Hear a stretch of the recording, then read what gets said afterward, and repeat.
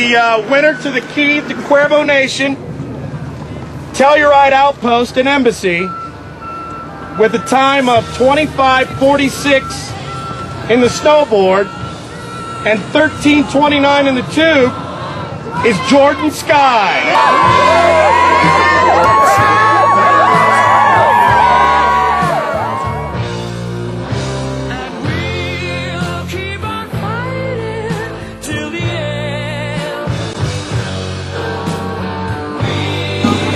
Champions We are the champions.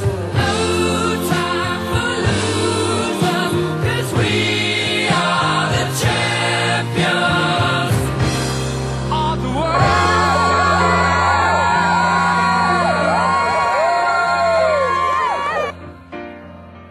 Jordan, how does it feel to go uh, to, to, to be going to Cuervo Nation? Uh, it's pretty cool. Yeah. I'm stoked. What do you think the key was to uh, coming out with the, the best time here today? I've been snowboarding for a lot longer than everybody else here. What do you think Cuervo Nation is going to be like when you get down there? For consumer profile, kind of like that.